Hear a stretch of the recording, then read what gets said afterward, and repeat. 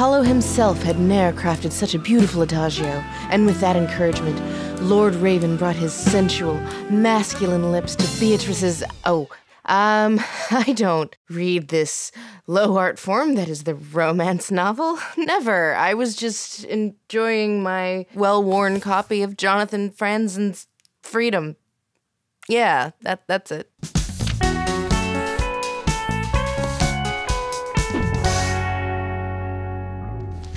The romance novel has been the subject of intrigue, derision, and shame in literary discourse long before the modern genre as we know it today even existed. Romance novels tend to be relegated to your Aunt Muriel's bathroom, thrift store book sections, and that one aisle in Barnes & Noble that you pretend to walk through because you got lost looking for cookbooks. But it deserves a closer look than that. It is, after all, the highest grossing of all literary genres, outselling its next nearest competitor twice over. So, what actually makes a romance novel different from any other novel that has a love story, other than, you know, brooding Highlanders and billowing shirts? Here are a few defining qualities. Number one, there must be a happily ever after. Without that, it's not a romance novel. It might be a love story, but it's not a romance novel. Number two, an emphasis on the relationship between the heroine and her hero. So called women's lit differs from the romance novel in that while it might lean heavily on romance, it's usually more focused on the character's personal journey. Think Bridget Jones's diary. Number three, the actual, you know, romance part. So, where did the modern romance novel come from? Well, we've had hard eyes for love stories for millennia, but let's look at a few authors whose influence on the genre is the most profound Jane Austen and the Bronte sisters. Well, Charlotte and Emily, anyway. Anne Bronte didn't have time for ah, that. Fiddle faddle. Though the genre did not yet exist, Jane Austen was basically writing beat for beat what we see in most modern romance stories, i.e., light-hearted love stories wrapped in witty social commentary. And then there were Charlotte and Emily Bronte, whose stories featured moody heroines dissatisfied and or bored with the roles society has handed down to them, colliding with their equally moody and misunderstood heroes, with a lot of ruin and angst along the way. So, what is different in the modern genre as we know it? Well, the biggie is you're allowed to write about sex now. Okay, so that is a broad oversimplification, but in the past 200 years of world history, the roles and romantic lives of women have changed drastically. With the sexual revolution came an interest in narratives where women are active agents in their own romantic and sexual lives. By and large, romance remains the only genre that centers women, in that it is by, for, and about them, and focuses on parity with the partner. This comes with a variety of tropes catering to what you, the reader, want. One trope is the beta hero. Ah, yeah. He's soft, he's sweet, he is a cinnamon roll turned into a man. Here's a genuinely good man who is willingly fighting to be worthy of the heroine. He is less common and popular a trope than the alpha hero.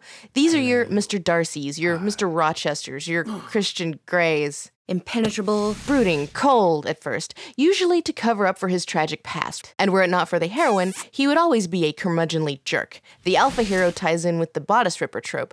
The bodice ripper is a historical fiction subgenre that usually involves some kind of forced seduction in the romancing of the heroine. She knows it's wrong, but it feels so right.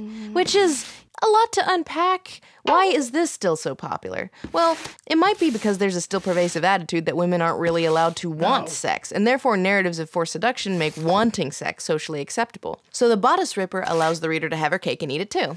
But this also ties in with feminist discussions on the topic. Are romances merely tawdry and patriarchal, or can they be consensual and sex positive? More so, why can't they be fabulous? Queer romance has existed as long as the genre has, although, like most LGBTQ art, it didn't get much attention or exposure until recently. In 1952, The Price of Salt by Patricia Highsmith was revolutionary in that it was the first lesbian romance with a happy ending.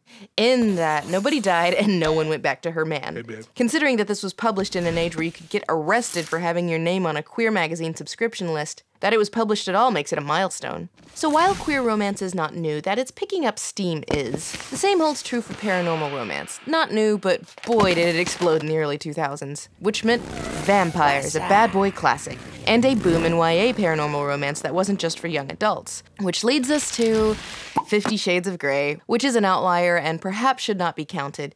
Is it romance? Is it erotica? Is it fan fiction? None of the above? There is disagreement, but it does speak to a desire and led to a boom in the popularity of spanky billionaire oh, erotica. It's not for me, but I, I get it. So, for a genre that is seemingly so throwaway, romance has been, like science fiction, a roadmap of how we see certain ethical and personal issues over time. It is a genre that has been almost entirely driven by women, and no longer just cis straight white women. There is a common tendency in fiction to see women fail or be punished for being in control of themselves and their narratives, especially when it comes to their romantic and sexual lives. And nothing sticks it to your enemy more than you living out your happiness. So, here's to you, the romance novel. Special thanks also to romance author Sarah MacLean for providing her expertise in this episode. Her newest book, Wicked and the Wallflower, is available now.